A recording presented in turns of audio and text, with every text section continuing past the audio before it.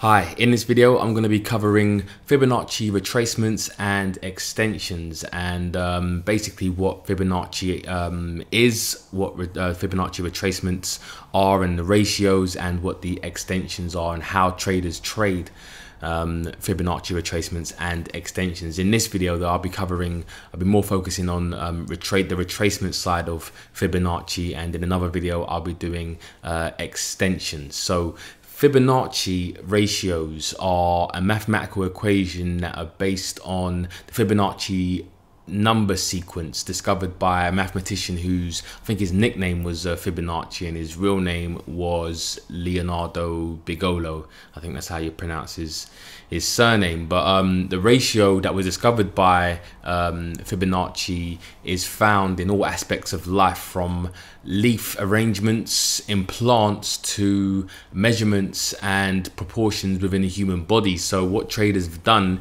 is they've used certain Fibonacci um, ratios within the financial markets. Now, Fibonacci ratios um, are numbers that are used by traders to figure out the, um, the probably the distance or the level that a price may retrace to. So if you've watched um, the video on how to uh, trade a trend, you'll understand what a retracement or a pullback is. So if you haven't watched that yet, or you don't know what a retracement is, I suggest you, you know, pause the video or go and watch that video first on um, how to uh, basically trade trends and then come back to this video um, if you don't understand what a, a retracement is. So um, and why retracements happen. So um, what we want to do is look for a retracement, right? So first of all, we see a move that goes from a low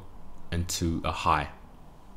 And as prices pull back and retrace, there are certain levels within the market between this low or an identified low and this high um, that the market may want to retrace to.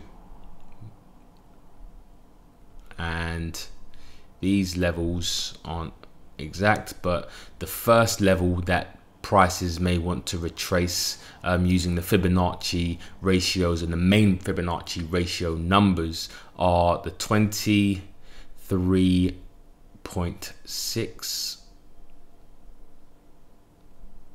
and underneath that would be the 38.2 then we'd have the 61.8 and then we have the 78.6 now these are ratios and these are percentage well these can be used as uh, percentages. So um, if this represents zero and this represents 100 right 100% meaning that price if prices did come all the way back down to an identified low after this was the low this was the high then prices have retraced 100%. Right? They've actually retraced 100% of this move higher. So uh, let's just take some of this off. Right. So this would be obviously zero, the absolute high. Prices haven't retraced at all. So these are all done as percentages and so on and so forth all the way down and so when prices do retrace to this 23.6 level traders will look to see if prices will continue on their journey higher if prices fail there then there are traders that trade the 38.2% level and so on and so forth. So uh, Fibonacci ratios are used as support in a in an uptrend or in a move that is uh, very bullish and traders hope to basically buy at certain retracement levels. And in a downtrend or in a down move traders will be looking for the retracement and a pullback. And um, these are used as resistance in a downtrend. So let me draw the opposite if this was a move down and as I'm going back through the charts, um, the retracement tool is actually found on your um, your software. So whatever charting platform you are using, whether it's TradingView, whether it's MT4 um, or CTrader or anything like that, it's pretty standard to have the Fibonacci retracement tool on there somewhere. So you don't necessarily have to plot these lines yourself. So in a down move and you're waiting for a certain retracement prices are pulling back so you would be waiting for certain levels. So if this was the high and this was the low this would represent zero because prices haven't retraced at all. They can't retrace from from the low and this would be the high. This would be a 100% retracement if prices came all the way back up here. And then the levels are again 23.6 38.2 61.8 and the 78 point six. Now there are other um, Fibonacci numbers um, that are derived, and this would be like the 88.6, and um, there is a 50% level, but strictly speaking, um, the 50% level, although you may see some people and some other traders use the 50% as a Fibonacci level, the 50% level actually isn't a Fibonacci number. Um, these are the ratios and the main ratios that are derived from the Fibonacci sequence. The 50% level is not a um, a Fibonacci level, although it is traded um, by a lot of traders. So this is would be a down move. Prices would retrace back to certain levels, and then you would have traders looking to get short at any of these levels if prices were to come up to any of these levels. So these again, just as this is a 23 um, 0.6% retracement, a 38.2% retracement of this move from the high to the low if we were looking to get short. So traders use these as resistance areas um, and resistance zones to try and get short. So what we're going to do now is we're going to look at how to um, or where to find um, if you're using TradingView that is uh, your Fibonacci tool and also um, the best ways that traders will uh, trade the Fibonacci ratios. This is the euro dollar currency pair and we are on the 60 minute um, one hour time frame chart. Now um, when plotting levels of um, or your Fibonacci levels, what you want to do is first of all find your Fibonacci tool and uh, this is TradingView and it's located on the um, left hand side. And the default uh, image would be here which is basically like this pitchfork. And then you would basically go down to Fibonacci retracement. So Fibonacci retracement is here. Click on that. Um, if you're using a different platform like uh, MetaTrader 4. Um, I think it's along the top of the toolbar somewhere. If not, you can just Google um, where to find the Fibonacci retracement tool on MT4 and there'll be some images, um, I'm sure, on Google. So what we want to do now is once you have highlighted your Fibonacci retracement tool, um, again, the idea of using the Fibonacci retracement tool is for is to look for pullbacks and um, for retracements. Yeah, so you've seen a move like this, and you're you're trend trading. Let's say, for example, so you see a move, and you're looking at a level with which, um, or trying to predict a level um, at which you want to be a buyer. Now, you don't want to be a buyer at the top of the market. You want to look for a retracement into a level, and this is where Fibonacci actually can help um, with trying to predict how far the retracement uh, will go or can go. So, what we've got is we've got a move up, an identified move up, and then what we would do is um, is plot our Fibonacci tool from the identified low and then we drag our Fibonacci tool to the high. So if we're looking for a pullback to be a buyer, you always go from low to the high. Should be you should drag the tool in the direction that you want to trade. So if you want to trade up, drag the tool up. If you want to trade to the short side, you're dragging the trade um, the tool to the downside, right? So we've got our identified um, level low to the high and now what we're looking for is a retracement or certain retracement levels from this high. So you can see that prices, and let's zoom in.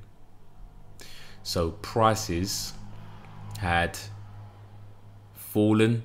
There were some traders that tried to enter here, which seemed, well, actually, I'll use this tool here, right?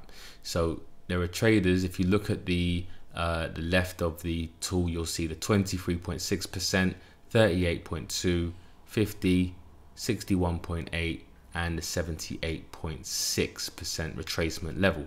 So we're waiting for price to basically come back down into these levels. The traders will be looking for price to retrace and then see if they can get a buy entry. So this may be used as a level of support.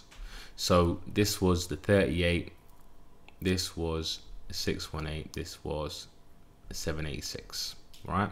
And as you can see um, price as prices came down into the 38.2 level we got a bit of a reaction here not much and prices failed.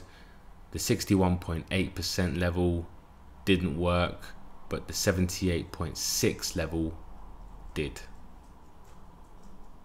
and as we can see prices went to the upside. Now, should Fibonacci um, levels be traded and should every level be traded? No. Um, what you want to do is look for confluence within that at that level. So, for example, this is just a tool, um, and you should use it in conjunction with other tools. So if this level was a level of previous support or resistance, let's say for example the 38.2 is a previous level of support and resistance and we can check that out by going to the left and was it?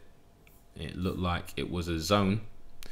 So we do draw our support and resistance levels as zones. You can see that this was an area where prices did come into the top of that um, you know resistance area now turned support but it just failed to hold. If you look to the left the 61.8 level had been used as a level as well but we just didn't get the reaction that traders wanted. As you can see that was a level. But what we did see was price react at the 78.6 level. So we can take this and we can see that there was a level where we had prices bounce off that level. So price was uh, resisted supported resisted resisted and then supported at this level, the 78.6 level, and then we got a move to the upside. Um, so that's the way that traders, or that's one of the ways that traders will trade uh, Fibonacci levels. It's not, well, it shouldn't be used as, or they shouldn't be used as levels on their own. They should always be used in conjunction with other um, indicators, especially um, support and resistance, and maybe other technical indicators if you do trade with indicators. So, in this example, we had the Fibonacci retracement, the 78.6 level was the ratio that prices decided to um, move higher from. So now we have entered another move higher. So we, this is the um, high and a higher low. And if you watch our video on trend trading, what we always always want to do is look for areas where we see uh, lows, higher lows, highs, and um, lower highs. Uh, so if you have identified a level, a low or a higher low, that's where you really want to um, place your Fibonacci and it has to be an obvious level as well. So again, this would have been the higher low as we made a higher high here. Prices broke out from here. So we would take the absolute low, which would be somewhere around here and then drag the Fibonacci tool to the high and then wait for some confirmation of a level. Now we can see that prices at these levels here. Prices did come down to the 38.2 level this time.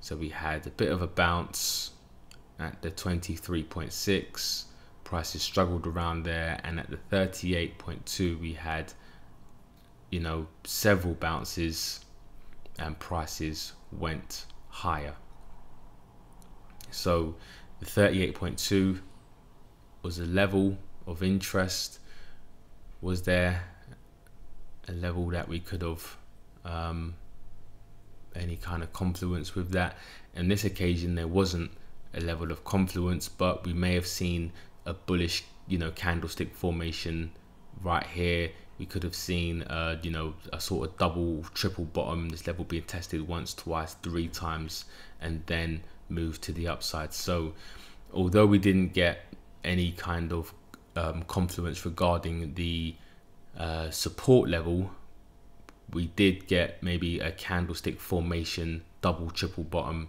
at this price and maybe if you use the relative strength index or a moving average or a MACD there might have been some buying opportunities or buying signals at this level so it's always good to use the Fibonacci um, tool in conjunction with other uh, technical methods.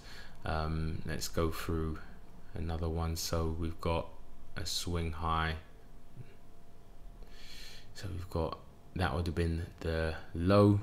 And then we've got a brand new high which is here.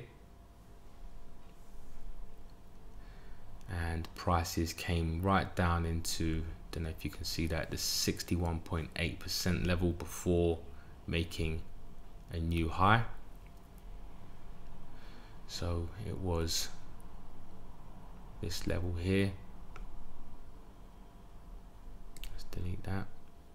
So this is where the 61.8 level is, and you can see price prices came down into the zone. And and just like support and resistance, the 61.8 level is a just a zone, even though it's displayed as a line. There they there it is a zone. Um, any kind of support level should be treated as a zone and not necessarily as an exact uh, level because there is um, an art to it.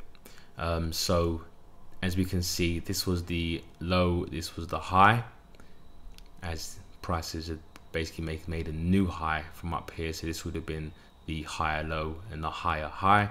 Prices did retrace back into the 61.8% Fibonacci level and then prices went higher. And I think this one would have went down to the 78.6 level. Yep we can see that prices from this new high and this identified higher low prices came down into this area. We had a couple of touches, three, four, and then prices went higher. So that's how you would use the Fibonacci retracement tool in an uptrend and I'll go through an example of how we would use it in a downtrend.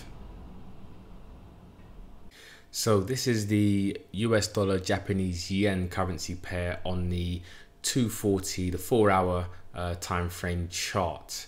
And we're going to look for Fibonacci retracements in a downtrend. So first of all, we need to identify a potential trend. So we want to see uh, prices making lower highs and lower lows. So right here. Once we see prices making a lower high and a lower low, we want to be on alert for a potential uh, trend. So we're looking for some sort of pullback into a level. So the underside of this level here would be the area we would look for. So we've seen this new low, a lower low, and then prices retrace back. Now, um, with the Fibonacci retracement tool, we would take it from the high this time and we're trading it, we're pulling it in the direction that we want to trade. So it's from that lower high, identified lower high, to this level here, to the new low. And then we would wait for price to retrace back into a level before, you know, um, trying to get in at a trade. Now, you can see here that prices came up into the 38.2 and even actually the 50% level somewhere between here. But prices really around the 38.2 level. As you can see it reacted here. Prices couldn't break above that 38.2 level and then prices went down. We did have the confluence of a uh, previous support level turned resistance here. Now, one thing I haven't mentioned is the golden ratio, which is the 61.8% level. This is known as the golden ratio um, of the Fibonacci uh, numbers. This is a very, very popular number for price to retrace to.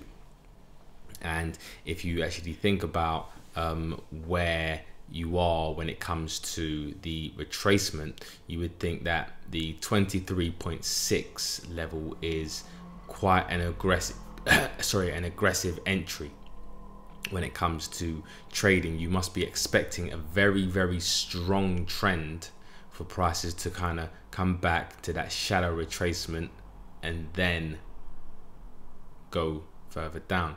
Um, the 38.2 is quite a popular one a popular ratio uh, amongst traders. And as you can see with price, let me uh, get this tool. So as you can see, as price did come up to this level, pinged off it, prices did go down, prices came up, couldn't go above it. Now, depending on where you put your stop loss, if you put it just above here or above here, you may or may not have been stopped out um, but it looks like the 38.2% level held and prices did go further down. But going back to the 61.8% Fibonacci golden ratio, this is the ratio that traders tend to, um, is popularized by traders. Um, and um, if prices do come up to the 61.8% level, um, it is quite a good level with which to um, short from or buy from if we're in an uptrend. So let's see if we can find a couple of examples of the 61.8% level. Right, so we have a new low being made. So when prices do retrace, they retrace back to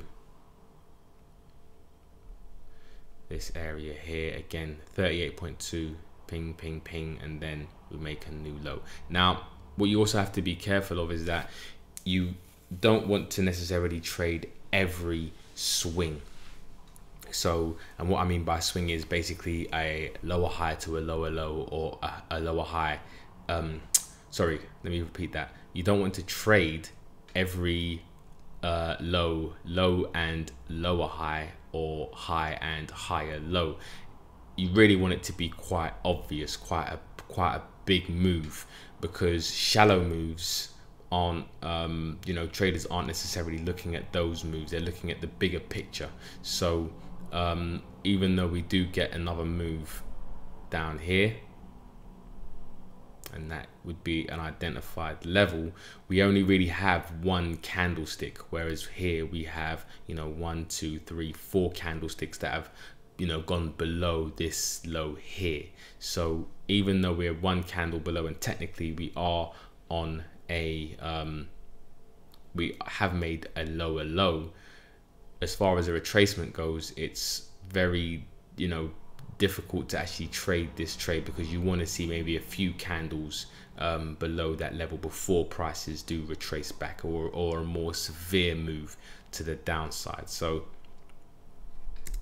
um, if you wanted to retrace, if you wanted to um, use the retracement tool still from this high to this low, what you do have is prices, which it's obvious that traders did use that as well. You can see that prices came back up into that 61.8% ratio, which is here. And then prices did react there and you can see as well that you had the confluence of what was considered a support level and now term resistance in the future and we can see prices did react to that level and went lower so here's an interesting one where we have uh, price from this obvious high to this obvious low. Now, we can see that prices did react to the 38.2 again. Reacted to this level. Prices didn't continue lower. Prices came up to the 78.6 level. Prices did react there and then they came up really to near the 100% level before reacting again. So there are times where Fibonacci, you know, not everything works 100%. Um, nothing in trading, we're always dealing with probabilities. I know I keep repeating myself, but just to drum it into you that it's probabilities. We are dealing with probabilities. So look at this level. Uh, let's have a look at this level here. So um, it's not necessarily the clearest but let's if I was looking at that I would look at this as this would be an obvious high or lower high and then this would be the lower low so I would take that level there and look to here and as you can see prices did react at around just before that 78.6 level. And we do have a level of, we got a level of support, bit of support here. Prices came back down and then prices came back up into and spiked. Nearly touching this 61.8 level. Eventually it did later on. Even if we dragged prices down to here we can see that this is definitely a level where traders were looking at with some sort of confluence as well. And we also have another level here so you might want to take the obvious highs and the obvious lows that's one of the things that you should always do is look for obvious highs and obvious lows don't look for you know um, obscure ones or or, or, levels and higher lows and lower highs and highs and lows that um, are not clear. if if in doubt, then just don't um, don't plot the zone from there. It has to be extremely clear for you to uh, want to trade that level. So um, we have a pullback, we have a little bit of a retracement here, and then as we're looking at downtrends, this would be the last swing before price is made. And then we came back up into probably this 50% level. Now we've got a clear high to low and we can see prices did come back up into this sort of spike above it. Now, again, is Fibonacci perfect? No, Fibonacci isn't perfect all the time, but that's how traders trade um, Fibonacci to the downside and to the upside. The 23.6 level is quite an aggressive entry. 38.2 is very popular. Prices will bounce and will um, hold off of the 50% um, level, even though the 50% level is not considered and not technically a Fibonacci level, but traders do use this level. The 61.8 is the golden ratio, and the 78.6 is quite a deep retracement. So um, that's how you trade Fibonacci. If you do have any questions, just email me at info at trading180.com.